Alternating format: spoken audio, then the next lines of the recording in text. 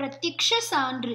இந்த நூற்றாண்டில் பிரத்யக்ஷமாக திரும்ப திரும்ப பார்த்த விஷயம் சொல்கிறேன். தர்மசாஸ்திர ஆச்சாரங்கள் எத்தனையோ ஆயிரம் வருஷங்களாக பிளவுபடாமலே இருந்திருக்கின்றன. அத்வைத்தம் துவைத்தம் விசிஷ்டாத்வைத்தம் என்றெல்லாம் தத்துவ ரீதியில் பிரிந்த போதும் கூட இவர்கள் புது புது தர்ம சாஸ்திரங்களை எழுதி வைத்து கொண்டு விடவில்லை. பழைய சாஸ்திரங்களின்படியேதான் பெரும்பாலான ஆச்சாரங்கள் இருந்தன. ஆதியில் இருந்த ஆபஸ்தம்ப ஆஸ்வலாயனாதி சூத்திரங்களும் மனுதர்ம சாஸ்திரம் நிபந்தன கிரந்தங்கள் முதலியனவும் தான் எல்லா சித்தாந்திகளுக்கும் பொதுவாக தொடர்ந்து இருந்திருக்கின்றன. இவற்றுக்குள்ளேயே தான் சில சித்தாந்திகள் சிலதை விட்டும் சிலதை சேர்த்தும் சிலதை கூட்டியும் சிலதை குறைத்தும் பண்ணுகிறார்கள்.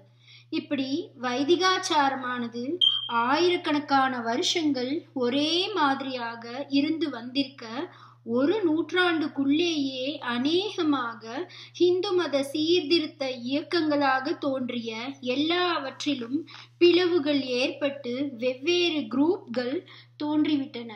மத சீர்திருத்த அம்சங்களையே நிறைய கொண்ட அரசியல் கட்சிகளிலும் இப்படியே ஒவ்வொன்றும் இரண்டாக மூன்றாக உடைந்து போயிருக்கின்றன.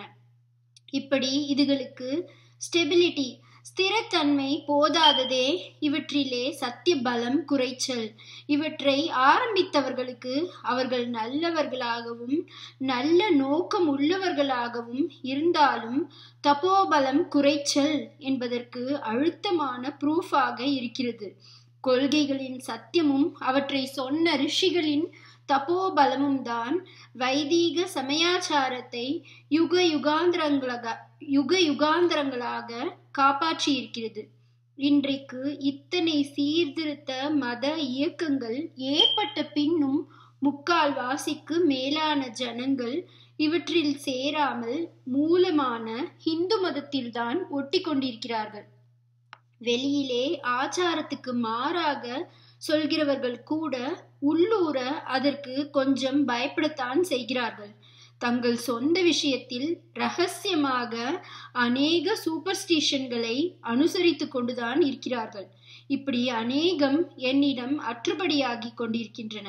எலெக்ஷனுக்கு டெபாசிட் கட்டுவதென்றால் எத்தனை ரேஷனலிஸ்ட் ரேஷனலிஸ்ட் ஆனாலும் நாள் நட்சத்திரம் பார்த்துதான் செய்கிறார்கள் என்று கேள்வி.